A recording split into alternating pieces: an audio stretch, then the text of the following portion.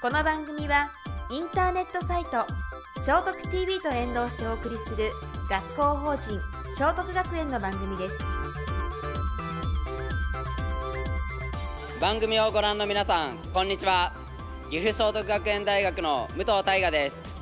今日は大学を飛び出しここアクティブ G からお届けします。アクティブ G とは JR 岐阜駅に隣接した商業施設です。飲食店やスポーツジムなど多様な店舗が集まった施設で駅を利用する人をはじめ多くの人が訪れます。僕らはイベントを企画する学生団体アクトです。アクティブ G をもっともっと盛り上げるため毎月さまざまなイベントを行っておりますところでどうして大学生がイベントの企画を行っているのでしょうか？アクティブ G 運営室の永井さんにお話を聞きました。学生さんってあの岐阜駅は知ってるけれども通学で通るだけとかあの本当に寄らってはいかない場所っていうことも聞きましてであの岐阜駅にあの学生さんに集まっていただいてそこでイベントをすることによって他の学生さんたちも集まってでここの岐阜駅からいろんなものを発信できたらなということでお願いをしました。そんなアクティブ G に答えたのが岐阜聖徳学園大学岐阜キャンパスの学生たちでしたアクトがイベントの企画を始めたのは2012年の11月。すでに15回以上イベントを行っています。僕らのイベントをもっともっと見てもらいたいんですけどもその前に聖徳ニュースをご覧ください。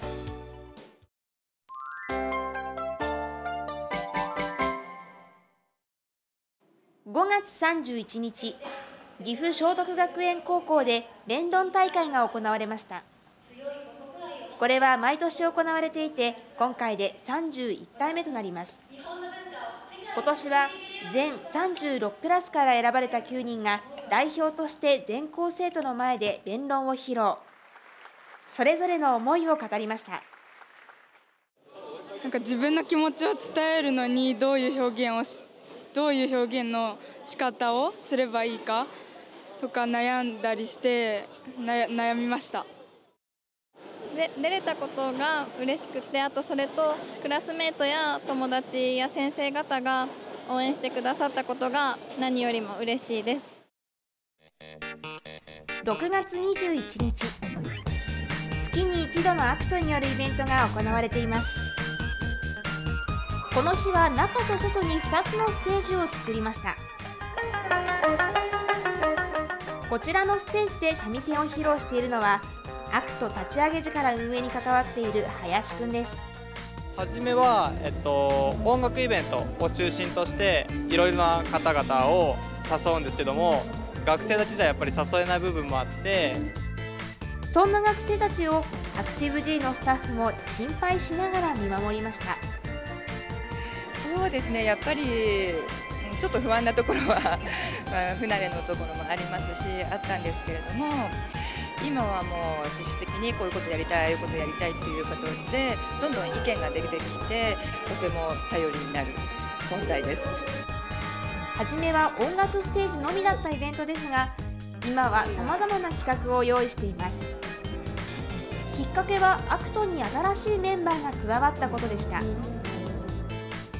去年の4月に今の2年生が入学してと2年生たちの意見とかを含めてやっていくと子ども向けのイベントが増えてきたり、えっと、ビンゴとかを前はやってなかったのがやってたり子どもたち向けの塗り絵大会とか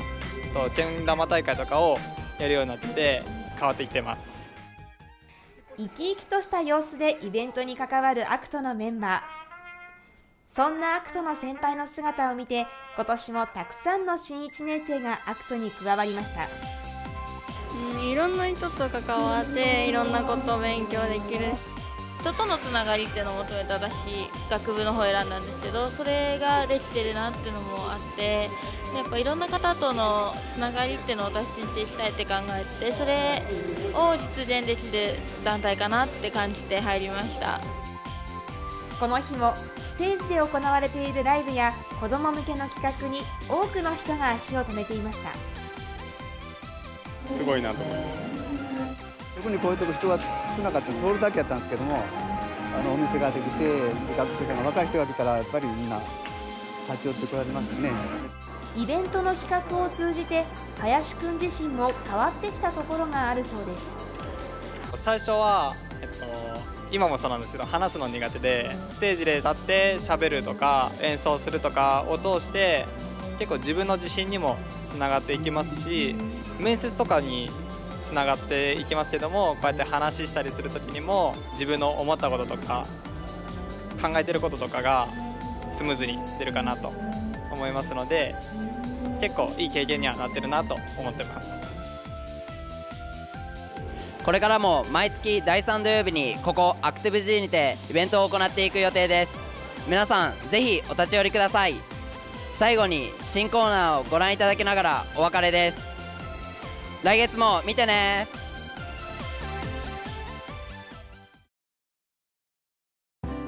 さまざまなフィールドにおける看護師の働き方をご紹介する新コーナーの第1弾は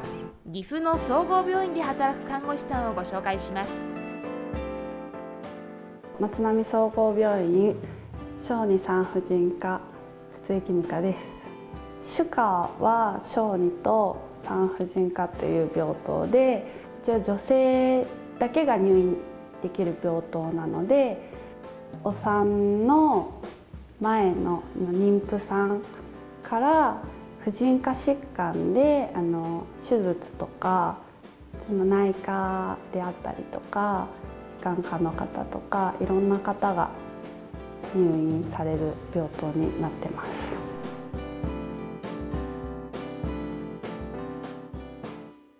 今の職場はすごくチームワークがいいと私は思っていて新人の時にはあのプリセプターとプリセプティということで先輩と新人看護師とあのペアになってあのこれから何を頑張るとかそういうことを計画立ててあの指導していただくんですけど新人の時に病棟の先輩方から B 氏に一言ずつ書いたメッセージカードをペタペタペタって貼ったものがもらったんですそれが結構私の中で宝物で今でも部屋に飾ってあってでそういうこともあってチームワークが良かったりするのかなと思います。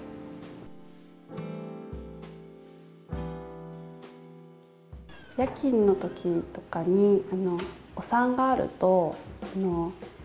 生まれてきた赤ちゃんの体拭きとか体重測定とかさせてもらうんですけどお母さんがすごい苦しんでいたお腹を痛めてあのすごい頑張ってる姿を見てその後に赤ちゃんを見てっていう風になるんですけどその時に生まれてきた時がすごいやっぱり嬉しくってあの一番初めに見た時は本当にお母さんと一緒に泣きそうになるぐらい すごい嬉しく感動したっていうかはい。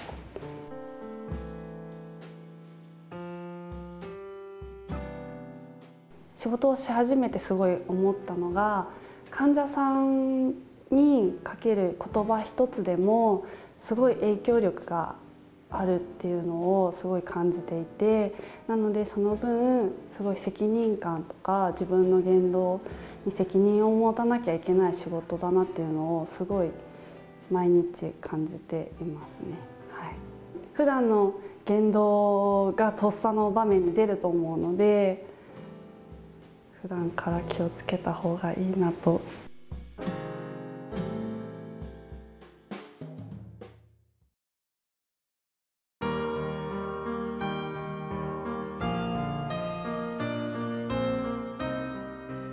聖徳学園大学看護学部。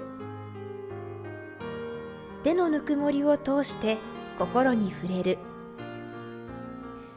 相手の心に寄り添うことができる看護師を育てます。